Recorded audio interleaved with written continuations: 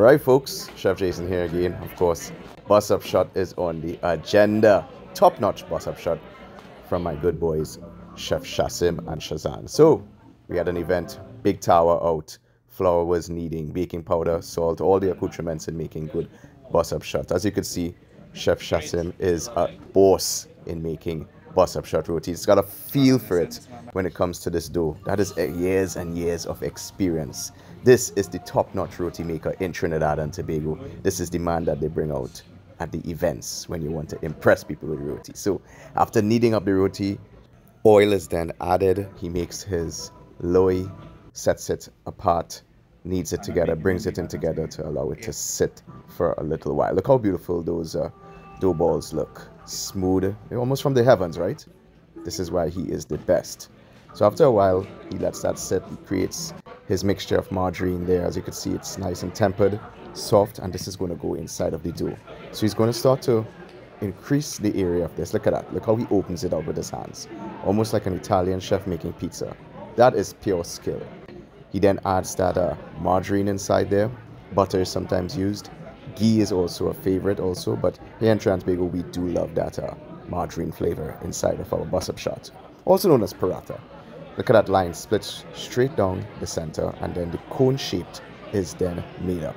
This is always the greatest marvel to me. This is how we create the layers, those flaky, ethereal layers that we love in roti, that crispness, that silkiness. Look at that cone. Look how he pushes in the top to fold it in to make it into one. That is beautiful.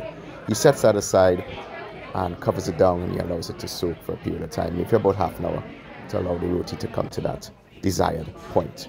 After that, he rolls it out nicely with his rolling pin. I think this was a three foot tawa he was working with, and just look how he picks it up. He stretches it on his arms, brings it down into the tawa elegantly, 100%. That is perfect.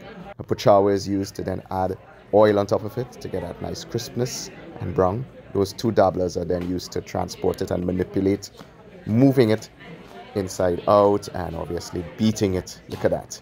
The flakiness is there, and obviously you gotta beat that, hence the reason why they call it buss up shot. It's almost like a bus up shoot, beating it with those two dablas to get those nice flaky, ethereal layers going on. I mean, oh my god, these guys are the professionals in the game. Look how great that looks.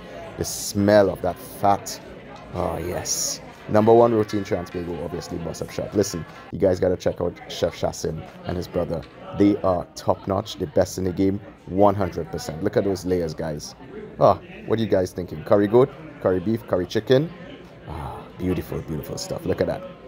This goes straight into the cooler right now. Look how it is folded elegantly, placed inside it to keep warm and nice. This would feed 8 to 10 people.